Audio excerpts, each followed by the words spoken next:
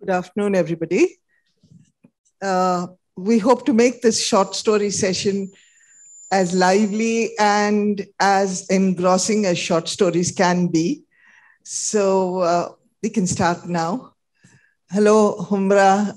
Nice to see you. Yeah, and hello. Hi. I'm Gita.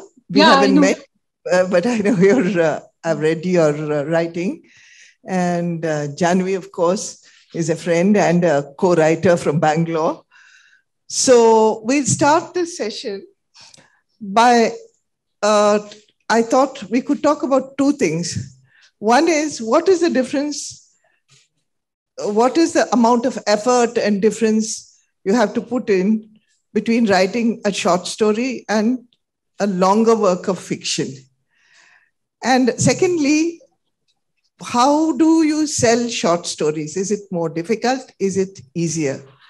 So, can I start with you, Humra? Would you like to talk about this?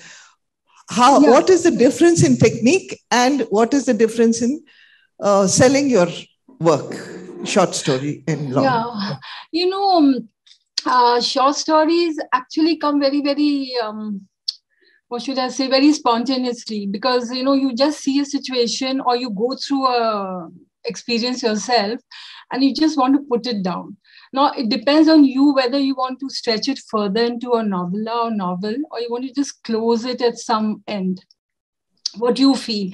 See, as a writer, is very um, these things are very personal because I can um, uh, catch hold of a situation or an experience and make it into a big, big, long novel or i can just leave it for the reader you know just make it a thing. And a lot depends on the mood you know your own emotions involved. Because uh, every writer i mean as you all know uh, cannot do without uh, that emotional uh, um, backup or is there? I mean you have to be so involved and so passionate about a thing or a situation that you want to actually just write uh, put it down. And i don't know why um, uh, in our country short stories are not taken very seriously. I mean in the sense uh, if you're a novel um, if you've done a novel then people say oh she's done a novel but if you've done even five short stories eh, oh you know that short story writer. I mean there is a there is a marked difference is what i feel. Although short stories can carry as much as a novel maybe more because it's just not one short story published in your volume they're about at least 10 15 20 so it takes a lot out of you. I mean all your emotions are there. And um, no writer can write in a vacuum. You know you have to go through that whole process and you're in the middle of a lot of happenings. You can't just and and the present or what is happening does affect the writer. Otherwise uh, you i mean it's difficult to write then so, and according to me, there's nothing called pure fiction. I mean, this leads to that because if you don't experience or see or um, hear all that pain or whatever, uh, you cannot write. I mean, uh, it's very difficult. So, this is what I feel. Uh, Jahnavi can add her own thing. I mean, this is what I really feel, you know. Okay. Jahnavi, what do you feel? Uh, for me, unlike Humra, I have to put a lot of effort into my short fiction. Uh, it takes me sometimes it's not spontaneous certainly it takes maybe two three even five months for one short story to be completed mm. and um, yes it is it is a, a, slice of life kind of thing a short story it's um, you you it's you're opening a window into a larger story so you give a glimpse of something a, a short insight into something but for me i um, work at it um, technically the crafting i find possibly harder than a novel because it's a very short um, it's a very short length. You have a very small canvas and uh, you have to get everything right straight up. You have to get the setting right. And by setting i mean um, not just the location not just the city the the the timing the season. Uh, uh, mm-hmm. if you want to write a, a, a sadder short story set it in winter you know. So you have to think through your whole setting and um, you have to think through the social setting what's the story about uh, what's the theme is it is it um, um, a social conflict story you know you have to think of the aim very very clearly because your intent in the short story has to come across very quickly for, to, to grip the reader um, then the characters of course have to be so well developed you don't have as, as much space as in a novel to meander. So mm-hmm. you can mm-hmm. build up your character in a novel over a long time. You can uh, meander. You have a lot of room for error. A short story is much, much uh, less forgiving. Mm-hmm. So you have to get your character so clearly um, right right away to grip your reader. Uh, and of course, the theme, where is it going? And um, how will the story develop, the pace of the story? Um, it's, it's technically, I would say, Gita, since you asked the question, much harder to write a good short story as compared to a good novel. And um, I started with short fiction uh, to, to address your the other half of your question as to why do they sell? Do they sell at all? Uh, I was I had a very brave publisher. I was lucky. So um, Penguin India picked up 14 of my first. Um, uh, I was an unknown writer then. This is 10, 12 years ago, and uh, said we'll we'll do a collection. Of course, they first asked, "Do you have a novel ready?" I said no. So, do you have enough to make a collection, a short story collection? I said yes, I do and they were brave enough to um, pick up an unknown writer and publish because um, it's another thing to be a known novelist and then you write short fiction. It's easier to sell you. But here they were with me, no name, but they picked it up. It did well, and um, it is a particular particular passion of mine, short fiction. And when you say does it sell, publishers say it doesn't sell, but then readers read. I'm sure as readers, all of you would happily pick up a collection. And particularly in today's day, uh, if I speak for myself, I may not have the time to go through a lengthy novel, but I do have that time for a short burst. Um, if, if I, can read on, a, on an e-device also, quickly read a short story, right? So this is um, uh, sort of um, strange paradox. And um, uh, I would feel as a writer, the market is there, but then publishers say there's no market for short fiction unless you're an acclaimed author. So um, what do we do? And like Humra said, in, in India, we're not particularly respected. The short form is not particularly respected, uh, except in our Bhasha languages. If you look at uh, regional literature, you'll find in Assam, Bengal, Maharashtra, Karnataka, short fiction um, really has respect. I'm sure you, if you read in your mother tongues, you'll see that short fiction has great respect. They published well, the authors are well known, but not so much in Indian writing in English. But, but if you go to somewhere like the United States, short fiction is thriving. It is a very healthy form. It has huge respect. Uh, we all know Salinger. Uh, we all know Alice Munro. We all know Richard Ford, you know. Uh, but I wonder why we can't achieve that level of um, respect here for the short fiction. So this, this has always foxed me, and I don't know where the answer is, where it lies. Thank you, Jahnavi and Humra. I would uh, say, you know, uh, uh, my foray into short fiction itself began because as a journalist, uh, I came across so many stories. But there are some stories which you cannot narrate in an article because you know you need to protect a person's uh, privacy. You cannot uh, make it too sensational, or you, you you have to see that the person whom you're writing about, particularly if it's a a murder or a kidnapping or some rape or something which is very intense and very dramatic, but you cannot uh, publish it in the form of an article because you, the person who is involved, their privacy has to be protected. So that is how, when I was uh, still a, a fairly young journalist, that I started thinking that, you know, what I cannot publish in the form of an article, maybe I can write it as a fictional story, a short one, and put enough, uh, what do you say, blurring around it so that you cannot recognize to who, who is the person involved in it. So that is how I actually wrote my first short story about a girl I was living in Kerala at that time, and about a girl who was uh, in a fishing village and who was kidnapped and taken away to Gujarat in order to uh, work at their fish processing units.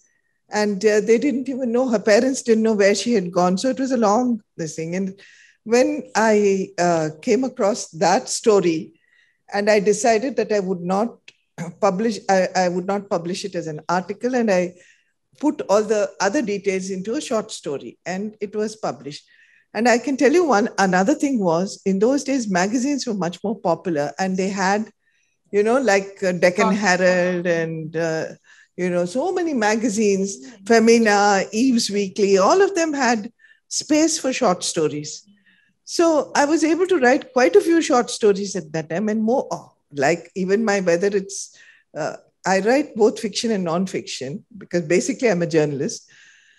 But even my fiction is based on my non-fiction in the sense that my uh, journalistic uh, endeavors get translated into stories.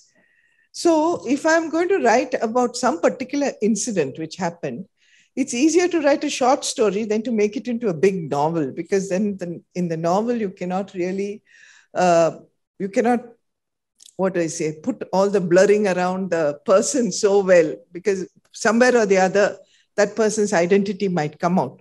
So the short story is much easier to do. Then regarding the sale of short stories, uh, another question I wanted to ask, uh, I'll ask you, Humra, first. Do you think if you publish an anthology of your own fiction, mm. it sells better? Or if you are part of a bigger anthology of like you know south asian fiction or something which do you think gives you i'm not talking purely in terms of commerce but uh, gives you more uh, focus on your story and on you uh, it, I think depends who's publishing. That's very important because that uh, reach then depends on you know who's publishing your works. But um, again, you know, because um, uh, after a certain stage, you're writing a lot for your own self in a way. I mean, I'm really, when I've done a story, I'm not bothered whether 10 people are going to read or 1,000 or 1 lakh or maybe just me. so uh, it's a lot of, you know, taking out your. Um, emotions so that part i'm not but i think the collective um, anthologies uh, or, i mean just not my own. If there are 10 other authors they do have a wider readership because of that you know collective thing. But end of the day i think most writers uh, want to write. I mean it's not that uh, there's that urge. Otherwise we wouldn't be writing because it really saps. You know if um, I write about a child in Kashmir. Uh, about 10 of my short stories are based in the valley on children. I know the situation. I've seen it with my own eyes. I've seen a child dying. I couldn't do anything except maybe report because, I, like you, I'm a journalist and uh, I mean, and a writer. So it's a combination. Uh, but it saps because then the whole sequence I have to build up, put it, change the name of the child, obviously, but it saps because it takes me back to that uh, sorrow, you know, that sort of that entire village or the child and the family. So it is a sapping thing. I mean, it's not a, um, and there's more to it than just writing. A lot of your own emotions come out, and you're in a different world as such. So this is what I really feel, and um, uh, obviously the um, the uh, logical conclusion is that the book or the short story has to be published so that people read okay that this is also on you know in various various pockets or locales um, of our country. So these are the realities uh, and as a writer one has to bring them out either through journalistic works or through um, fiction uh, so-called so-called fiction uh, uh writing so this is what i feel. I think to answer your question about whether um, an anthology of various writers sells better than um, one of your own, of course, I think when it's a collection of various authors, there's more exposure. You have each each author comes with their own readership, and um, you you when you see one your your favorite author out there, you tend to pick up the book so that you you feed into people's readership. But having said that, I think every author, I don't know how Humra feels or you feel, Gita. um, we would like to have that collection of our own, right? I mean, it's, it's always nice to be part of um, an anthology, and all of us have been part of various anthologies with our colleagues and co-writers, and that's a different thrill because um, it's kind of a team effort. It's kind of um, you all get together on stage, ten of you on stage, and it's it's fun. It's a fun thing. But end of day, we are serious writers, literary fiction writers, and you want to see your name on that in that collection, and it's very satisfying um, when that happens but as Humra said, it is very exhausting. It's any kind of writing. So when children come to me, young children say, I want to be a writer, I'm like, please really think very deeply about it. It's really not easy. I mean, I know you do uh, an essay in class or a short fiction composition in college, and it feels easy, it seems easy, but uh, really, when you want to um, write at that level, uh, where you want to make it a career, it is extremely exhausting because um, while uh, I don't tend to look, um, convert incidents into fictionalize them and make them into short fiction, um, I tend to, I think most writers tend to write from lived experience. Uh, people always ask me, are your, are your characters fictional? Is, is, is that novel uh, fictional? Is it, is it um, autofiction? Is it, is it from your life? Everything we write is from our life. Uh, in the sense, if I've never, for example, um, sat down and watched a sunrise, how would I describe it? You, ca- you can't Google those feelings. You can't Google those colors. You can't Google those emotions. Uh, if I've never tasted um, chocolate ice cream, how would I describe it? So, in a sense, what we write is from our lived experience.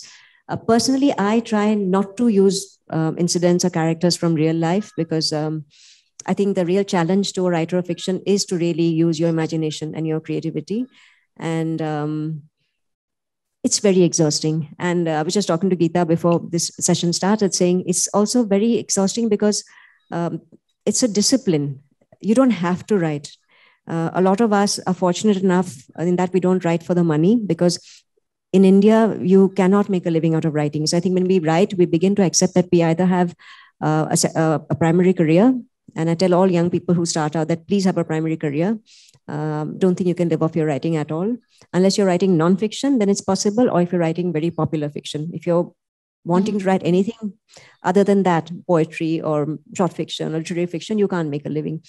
Um, so, right. So, so, most of us don't write for money. We write for the passion of it. We write for the pleasure of it. We write for the compulsion of it. I mean, um, unless I see Sabin nodding there, there's an author in the second row. Uh, unless we write, sometimes we don't feel all right. I mean, unless you've mm. got that, you've done that page a day, or you've done that uh, novel a year, um, you feel all's not right with the world. But to get up every day and look at that screen and create something worth creating is so difficult. Is so difficult. I, in fact, I envy other creative artists. I, I feel a painter or a or an actor or a performance uh, artist, a performance poet gets out there and you know it's an it's an instant reaction from your audience. It, it's, it's such a compelling, uh, in your face kind of thing. Writing a novel building up that mood, building up that style, uh, keeping continuity. If, if somebody was wearing a red dress in one scene and you come to it two years later, you make sure that it's still a red dress, you know, um, it's such an exhausting task. And um, you don't have to do it, right? There's, there's no one sitting there saying get up at nine and clock out at five and start at nine. So I find because um, I, I, write, I, I think I'm um, look at real life first, my other obligations, duties, and I uh, look at writing a little um, as sort of on the back burner it's it's hard even to get out there sometimes. So I'm a slow writer, and um, it's exhausting, as Humra said. When you're writing a novel or a, a short story, you actually live the emotion. So if it's um, um, a bad relationship story, if it's um, like an abduction, like Gita talked about, you actually feel that emotion. You actually are sapped by end of day. So um, that's really what the writing experience is all about, and it's it's not an easy one. Thank you. Uh, I think the I also wanted to ask, you know, the do you get a core of an idea and then make it into a short story and then suddenly feel that you know it could perhaps be extend, expanded the emotions the scene everything is just asking to be made into a longer novel? Have you ever humra for instance taken a short story and made it into a longer story a longer format maybe even a novel? Have you uh, no, not really, because I was tempted to one yeah. or two uh, short stories, but then I felt uh, that it wouldn't really come. I mean, I, I would stretch it, but I wanted to end it at a particular um, situation, you know. I could have, I mean, if I, even now, I mean, at times I read as, oh God, you know, I should have stretched it further, you know, till the uh, you know till they part or they depart or whatever. But i left it at a uh, uh, at a very strange situation because i thought let the reader decide you know whether the two are going to be in love forever or they'll just end everything. Um, and um, uh, no i feel a short story has its own end. I mean a novel if you have in the mind okay that i'm going to write a novel then you build your characters accordingly you know you, you can do 200 pages and then you say okay it's okay but this in 10 9 10 pages i feel is okay i mean i've done my bit let the reader decide uh, but it is um, there's some sort of temptation at times So, uh, but short stories I've done about uh, three collections. So um, I've left it. I mean, I didn't want to carry it further. I thought it's uh, reached its end. Why I asked was um, uh, one of the full length fiction novels which I wrote. It's called Color of Gold, and it's set in a gold mining town. That's where I grew up. Mm-hmm. And uh, so, to start with, I set it in the era when I was growing up, which was like in the 50s and 60s, and when you know the colonial past had not quite mm-hmm. left it, mm-hmm. and uh, that came to me very vividly. So I first wrote this short story, and I published it long ago in I think in mm-hmm. Deccan Herald or uh, something. And then later on, when I looked at it, I thought, you know, there's so much I haven't said in this. Mm-hmm. And then, you know, the characters started coming in, other people whom I had known, and then uh, you know, it became like it stretched over 100 years in my mind. Mm-hmm. And then I put it down and it uh, became a, a good length novel. So that short story, which was the core, mm-hmm. but you cannot even recognize that core in what happened ultimately to it. And what I write, I feel with writing fiction as opposed to journalistic pieces where you have to stick to fact and you cannot go into mm-hmm. fiction mm-hmm. But fiction just allows your mind, mind to take over. You can make anything you like, and the characters seem to make themselves. I mean, I don't know. This is a very weird thing that when you start, you you don't have an idea of what this character is going to become, but by the end, the character has become something else. In a short story, maybe doesn't the character doesn't have time to grow into the full length, but then you're, as you said, it's a slice of life thing. So that's where it should end. But I'm, I mean, I was curious because this happened to me, and I'm wondering, Jahnavi, has it ever happened to you? Because you write both short stories and uh, long fiction.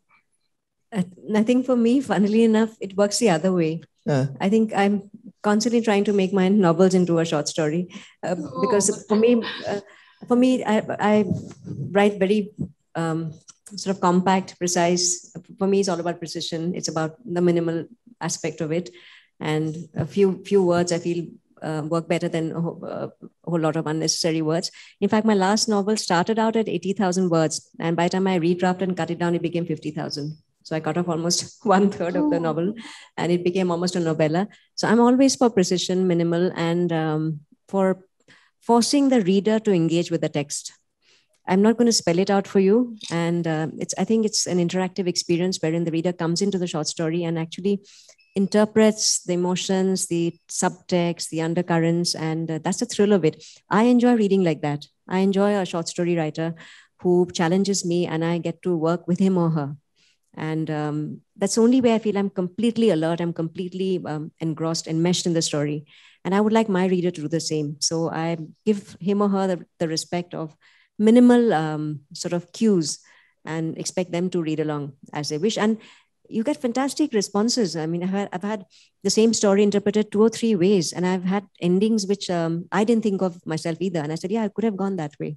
So for me, it's the other way around. I'm, I'm never tempted, except once.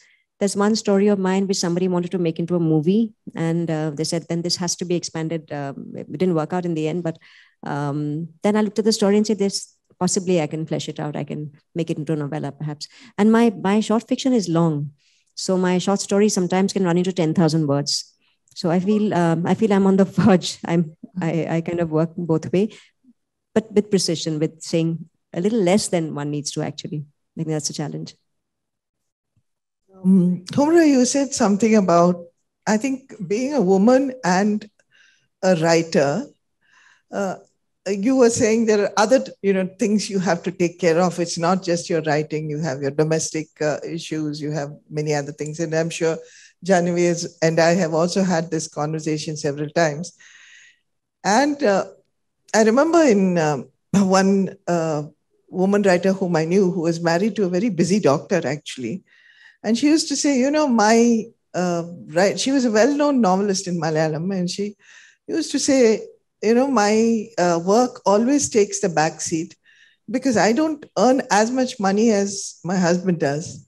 And therefore, it is not considered the primary uh, career option in our house. So one day she laughingly told me the only time I get to think about my uh, plot and how to flesh it out is when I'm sitting in the bathroom because that's the only private time I have in my life. Otherwise, there are children, there are domestic duties, there are so many other things that I have to take care of. What would be your comment on this, Humra? Oh, see, now my children are settled, thankfully. So, but when they were yeah. growing up, they were more like friends. I mean, I remember I bought a typewriter a long time back in the 90s. I didn't know how to type. So, my daughter went to a typing school and she said, Don't worry, I'm going to learn. So, she used to type out, you know, my writing stuff. So um, that was actually, and while they used to sit and do their homework, I used to do my writing, but that time I didn't write much in the sense, okay, I was more like a journalistic sort of thing, but uh, last 20 years, uh, writing is like my life. After my children settle and they move to their own homes in different cities. So writing has actually kept me going. Earlier, it was the children who kept me alive and going.